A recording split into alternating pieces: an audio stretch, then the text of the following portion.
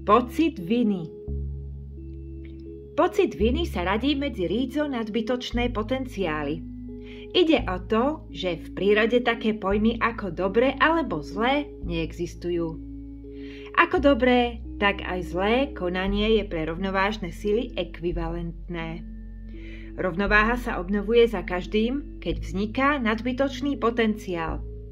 Ak ste postupovali nesprávne a uvedomili ste si to, zaznamenali ste pri sebe pocit viny, Treba ma potrestať.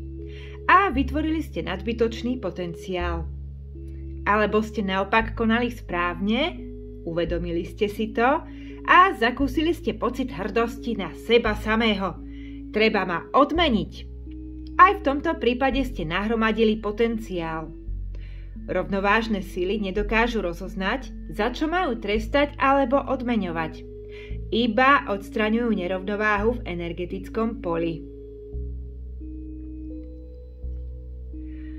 Odplatou za pocit viny bude vždy trest, či už v tej či onej podobe.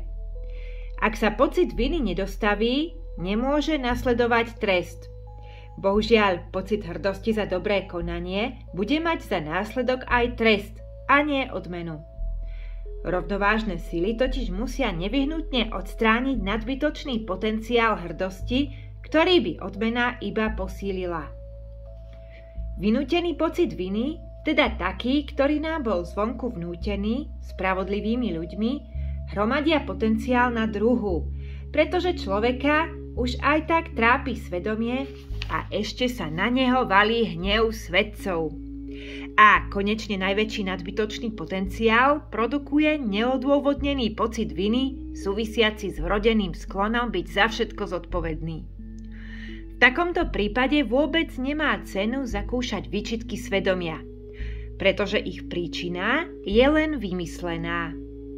Komplex viny môže pokaziť celý život, pretože takto postihnutý sa pôsobeniu rovnovážnych síl, teda všemožným trestom za pomyselné previnenia, podrobuje neustále. Práve preto sa zrodila nasledujúca metafora. Drzosť je druhé šťastie. Ľudí, ktorých výčitky svedomia netrápia, sa rovnovážne sily z pravidla nedotýkajú. Pritom by bolo niekedy tak potrebné, aby Boh darebákov potrestal. Mohol by vzniknúť dojem, že spravodlivosť musí zvíťaziť a že zlo musí byť potrestané.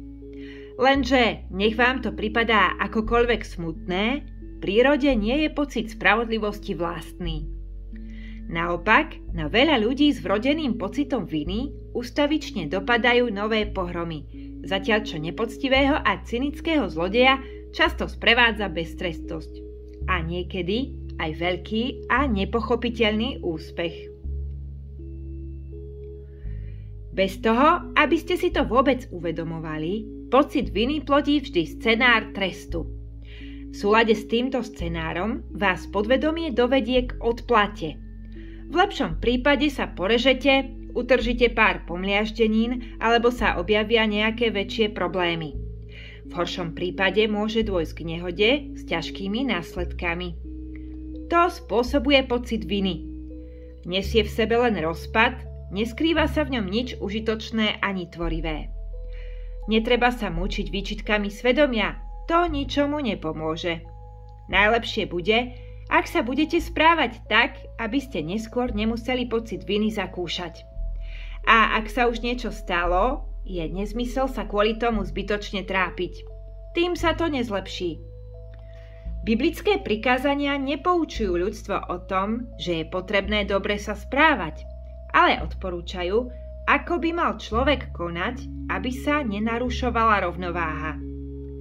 To len my s našou pretrvávajúcou detskou psychikou príjmame prikázania tak, ako by nám mamička prikazovala, aby sme nehnevali a postavili sa do kúta. Naproti tomu nikoho ani nenapadne, aby trestal záškodníkov. Ľudia si sami vytvárajú problémy, keď rovnováhu narušujú. Prikázanie na ne iba upozorňujú. Ako bolo už vyššie povedané, pocity viny fungujú ako nitky za ktoré môžu kývadlá človekom manipulovať. Manipulátormi sa stávajú ľudia, ktorí konajú v rámci formulky. Ty musíš robiť, čo ja poviem, pretože nesieš víno. Alebo som lepší ako ty, pretože ty nie si nevinný. Usilujú o to, aby niekomu vnútili pocit viny, aby nad ním získali moc, či aby sa presadili. Navonok vyzerajú takí ľudia bezchybne. Oni vždy a za každých okolností vedia, čo je správne a čo zlé. Vždy hovoria tie správne slová, preto majú vždy pravdu. Všetko ich počínanie býva tiež vždy bezchybne správne. Avšak treba podotknúť, že nie všetci spravodliví ľudia majú sklony k manipulácii. Kde sa u manipulátora berie potreba neustále niekoho poučovať a riadiť? Je podmienená tým, že ho v duši ustavične trápia pochybnosti a neistota. Tento svoj vnútorný boj skúsene skrývajú pred svojimi blízkymi, ako aj pred sebou samými. Neprítomnosť vnútorného správneho a spravodlivého hodnotenia, ktorým sa vyznačujú skutočne spravodliví ľudia, strháva manipulátora k tomu, aby sám seba presadzoval na úkor druhých. Potreba poučovať a riadiť vyviera z priania upevniť si pozíciu tým, že bude ponižovať okolie. Vznikajú vzťahy závislosti. Bolo by správne, keby sa rovnovážne sily za to manipulátorom po zásluhe odplácali. Nadbytočný potenciál sa však hromadí iba tam, kde síce existuje napätie, ale nepohybuje sa energia. V danom prípade odovzdáva človek manipulátorovi svoju energiu, preto potenciál nevzniká a manipulátor jedná beztrestne. Ako náhle dá niekto najavo, že je pripravený vziať na svoje plecia pocit viny, už sa na neho manipulátor lepí a začína odoberať jeho energiu. Aby sa človek nedostal do jeho vplyvu, musí sa len odpútať od pocitu viny. Pred nikým sa nemusíte ospravedlňovať a nikomu nie ste nič dlžný, ak nejaká vina skutočne existuje, je možné odpíkať si trest, len sa človek nesmie považovať za vinného. A dlhujete niečo svojim blízkym? Tiež nie. Prečo sa o nich staráte z presvedčenia a nie z prinútenia. To je úplne iná vec. Vzdajte sa náchylnosti k ospravedlňovaniu sa, pokiaľ ňou trpíte. Vtedy manipulátor pochopí, že vás nemá za čo chytiť a nechá vás na pokoji. Mimochodom, pocit viny býva prvotnou príčinou komplexu menej cennosti.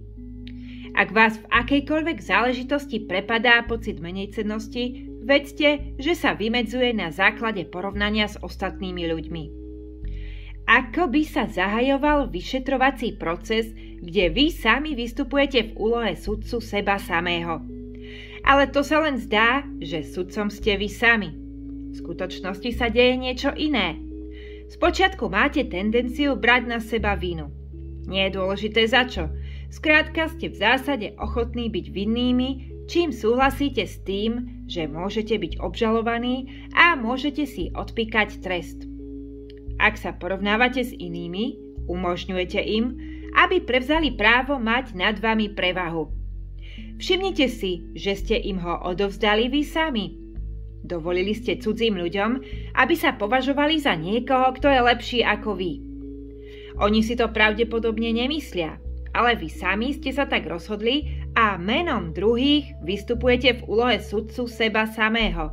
Z toho vyplýva, že oni vás súdia, pretože vy sami ste im to dovolili. Vezmite si späť svoje právo byť sám sebou a vstante už konečne z lavice obžalovaných. Nikto sa vás neopováži súdiť, ak sa sami nepovažujete za vinného. Iba vy môžete dobrovoľne dať druhým právo, aby sa stali vašimi sudcami. Možno vám pripadá, že sa tu zaoberám bohapustou demagógiou. Veď ak nejaké skutočné nedokonalosti existujú, Vždy sa nájdu ľudia, ktorí ich spozorujú. Spolahnite sa, naozaj sa vždy nájdu. Ale len v tom prípade, keď vycítia, že vy sami ste ochotní vziať na seba vínu za svoje nedostatky. Ak si o sebe hoci aj na sekundu pomyslíte, že ste vinní tým, že ste horší ako druhý, oni to určite vycítia. A naopak, ak vás pocit viny neťaží, nikoho ani nenapadne, aby sa realizoval na váš účet. Tu sa prejavuje veľmi jemný vplyv nadbytočného potenciálu na okolité energetické prostredie. Z pohľadu zdravého rozumu tomu je možné na 100% uveriť len ťažko. Avšak slovami nič dokazovať nemôžem. Ak neveríte, preverte si to. K pocitu viny sa vzťahujú ešte dva zaujímavé aspekty. Moc a odvaha. Ak človek pocitom viny trpí, ľahko sa podáva vôli iných ľudí, ktorí ním netrpia. Ak som potenciálne pripravený uznať, že by som mohol byť čímkoľvek vinný, podvedome som prichystaný niesť trest. Čiže som pripravený na to, aby som sa podrobil. Ak ma netrápi pocit viny, ale naopak sa u mňa presadzuje potreba sebarealizácie na účet druhých, som pripravený stať sa manipulátorom. Vôbec tým nechcem povedať, že sa ľudia rozdeľujú na manipulátorov a bábky. Všimnite si však isté zákonitosti. U vládcov a panovníkov sa pocit viny rozvíja v najmenšom možnom rozsahu alebo úplne chýba. Pocit viny je cudzí cynikom a ďalším ľuďom bez svedomia. Ich metóda je kráčať po hlavách či cez mŕtvoly. Neprekvapuje nás, že k moci sa veľmi často dostávajú nečestné osoby. Opäť to samozrejme neznamená, že moc je zlá a že všetci ľudia, ktorí sú pri moci, musia byť zlí. Možno sa aj vaše šťastie skrýva v tom, že sa raz stanete obľúbencom kývadla. Každý sa rozhoduje sám za seba, ako bude žiť so svojím svedomím. V tom nemá nikto právo niečo vám zakazovať – od pocitu viny je teda potrebné sa dištancovať.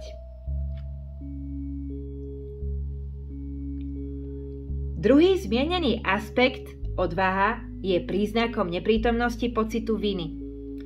Podstata strachu sídli v podvedomí a jeho príčinou býva nielen hrôza, ktorá pramení z neznámeho, ale aj obava z trestu. Ak som vinný, Potenciálne súhlasím s tým, že si odpikám trest a preto sa bojím. V skutočnosti sa smeli ľudia nielenže nemučia výčitkami svedomia, ale ani netrpia najmenším pocitom viny. Nemajú sa čoho báť, pretože ich vnútorný sudca ich utvrdzuje v tom, že ich činy sú správne. Bojazlivým obetiam je naopak vlastná iná pozícia. Nie som presvedčený, že postupujem správne – Môžu ma obviniť. Ktokoľvek ma môže potrestať.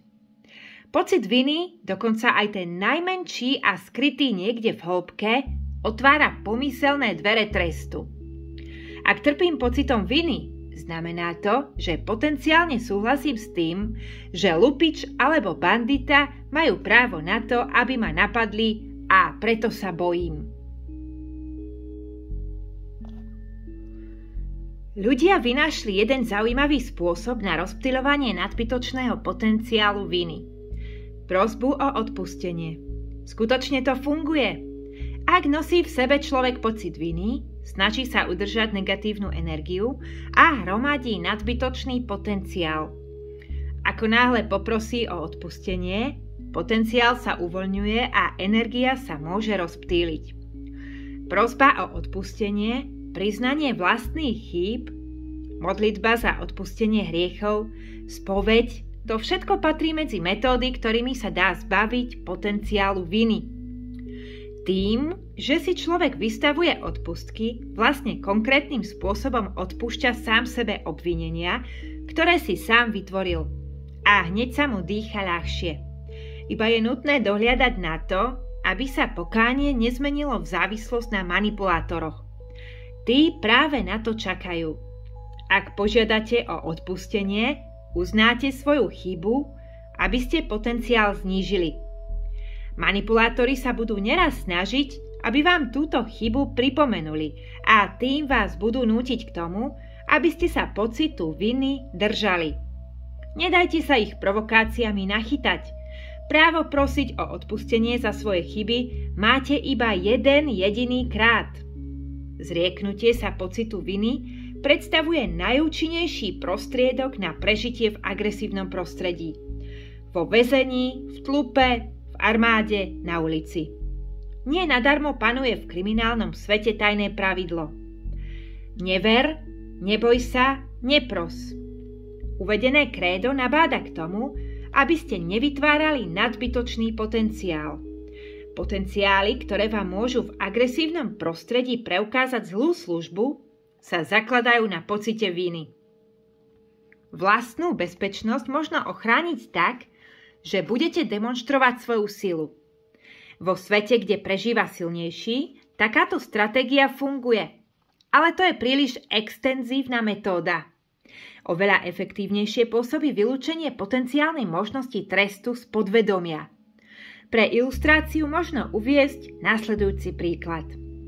V bývalom sovietskom zväze umyselne zatvárali politických väzňov k zločincom, aby zlomili ich vôľu. Lenže celá akcia vyústila tak, že mnohí politickí väzni ako nevšedné osobnosti nielenže sa nestali obeťami posmechu a väzenského týrania, ale dokonca si medzi zločincami vydobili veľkú autoritu. Trik spočíva v tom, že osobná nezávislosť a hodnota sa cení viac než sila. Veľkou fyzickou silou disponuje mnoho z nás, za to sila osobnosti predstavuje zriedkavý jav. V neprítomnosti pocitu viny je zakliatý kľúč k vlastnej dôstojnosti. Skutočná osobná sila sa neskrýva v schopnosti chytiť niekoho pod krk, ale v tom, nakoľko sa osobnosť môže oslobodiť a byť na pocite viny nezávislou. Významný ruský spisovateľ Anton Pavlovič Čechov povedal Po kvapkách zo seba vytláčajú otroka. Táto fráza zdôrazňuje úsilie človeka o to, aby sa zbavil pocitu viny. Zbaviť sa znamená bojovať, avšak v transurfingu pre boj ani pre násilie na sebe samom nie je miesto. Vhodnejšie riešenie sa ukrýva inde. Zriekať sa, teda vyberať si – nie je nutné, aby ste zo seba pocit viny vytláčali. Postačí, ak si jednoducho zvolíte, že budete žiť v súlade s vlastným presvedčením. Nikto nie je oprávnený vás súdiť. Vy máte právo byť sami sebou. Ak sa rozhodnete, že budete sami sebou, vytratí sa nevyhnutná povinnosť ospravedlňovať sa a strach z trestu sa vytratí. A v tom sa prihodí skutku podivná vec. Nikto vás nebude môcť uraziť. Či už sa budete nachádzať kdekoľvek, vo väzení, v armáde, v partii, v práci, na ulici, v bare, skrátka kdekoľvek. Nikdy sa neocitnete v situácii, kedy by vám niekto vyhrážal násilím.